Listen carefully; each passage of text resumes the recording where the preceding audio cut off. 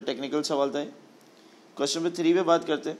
Three में कहता है, Karim did not keep accounting records but provided the following information what was profit for the year अब आप देखें, सिर्फ़ ओपनिंग और क्लोजिंग कैपिटल गिवन है कैपिटल इंट्रोड्यूस गिवन है और ड्राइंग गिवन है और हमें निकालना क्या है भाई? हमें निकालना है प्रॉफिट फॉर द ईयर तो प्रॉफिट फॉर द ईयर यहाँ पे कैसे आएगा? रिवर्स वर्किंग वाला क्वेश्चन है सिंगल एंट्री यार देखें, जब आप बैलेंस शीट बनाते हैं स्टेटमेंट ऑफ़ फाइनेंशियल पोजिशन तो वहाँ बैलेंस शीट में एक फॉर्मेट होता है जब हम फाइनेंस बाय पहले लिखते थे फाइनेंस बाय नहीं लिखते। फॉर्मेट क्या होता है? सबसे पहले हम लिखते हैं ओपनिंग कैपिटल ओपनिंग कैपिटल हमें क्वेश्चन में या तो गिवन होता है, या तो हम निकाल लेते हैं। कैसे निकालते हैं? Assets minus liability is equal to capital अगर मैं बिज़नेस में एडिशनल इन्वेस्टमेंट करूँ एडिशनल इन्वेस्टमेंट तो मेरा कैपिटल क्या हो जाता है? बढ़ जाता है।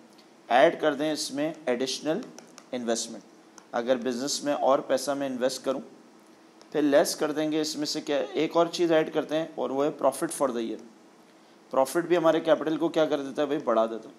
अगर लॉस होता है तो हम क्या कर देते हैं? उसको माइनस कर देते हैं. फिर क्या करते हैं भाई? एंड में लेस कर देते हैं ड्राइंग्स क्योंकि ड्राइंग हमारे कैपिटल को कम करता है. और फाइनल आंसर जो आ जाता है, वो आ जाता है क्लोजिंग कैपिटल ये है क्लोजिंग कैपिटल तो ये रिकन्सिलियेशन है कैपिटल की कि भाई कैपिटल कैसे कैलकुलेट होता है बिज़नेस में. अब आप अगर इस क्वेश्चन में देखें मेरे भाई, कि ओपनिंग कैपिटल ऑलरेडी गिवन है कितना है? फिफ्टी एट थाउज़ेंड ये आ गया opening capital fifty eight thousand फिर इसमें ऐड कर दें एडिशनल इन्वेस्टमेंट बता रहा कैपिटल इंट्रोड्यूस कितना है? फिफ्टीन थाउज़ेंड ये एडिशनल इन्वेस्टमेंट फिर मुझे बताएँ प्रॉफिट गिवन है? नहीं प्रॉफिट गिवन नहीं है प्रॉफिट अननोन है, उसको एक्स कर दें। फिर लेस करते हैं इसमें से क्या चीज़? ड्राइंग्स ड्राइंग्स कितनी है? एटी फाइव हंड्रेड तो ड्राइंग्स को माइनस कर दें। फिर एंड में हमें क्या चीज़ चाहिए? क्लोजिंग कैपिटल हमें दिया हुआ है ऑलरेडी यहाँ पे। कितना क्लोजिंग कैपिटल दिया हुआ है? अगर आप देखें सवाल में, दिया हुआ है eighty two thousand five hundred अब ये सारी चीज़ें दी हुई हैं और अब हमें क्या निकालना है? प्रॉफिट फॉर द ईयर निकालना है। कैसे निकलेगा भाई प्रॉफिट फॉर द ईयर अब हम रिवर्स वर्किंग करेंगे। नॉर्मली तो क्या होता है भाई ओपनिंग कैपिटल में एडिशनल इन्वेस्टमेंट वैसे रेयर है लेकिन अगर होती है तो हम उसको ऐड करते हैं। अगर ड्राइंग होती है माइनस करते हैं प्रॉफिट होता है ऐड करते हैं लॉस होता है माइनस करते हैं, क्या आ जाता है? क्लोजिंग कैपिटल अब हमें रिवर्स वर्किंग करनी है। क्लोजिंग कैपिटल से चलेंगे, जो ड्राइंग माइनस होती है, उसको प्लस कर दें। और जो एडिशनल इन्वेस्टमेंट और ओपनिंग कैपिटल ऐड होता है, उसको सब्ट्रैक्ट कर दें। तो बताएँ कितना आंसर आ रहा है। तो आंसर मैंने कैलकुलेट किया, वो आ रहा है एटीन थाउज़ेंड रिवर्स वर्किंग करनी है भाई, और आंसर आ रहा है पॉजिटिव में। एटीन थाउज़ेंड तो आंसर है बी।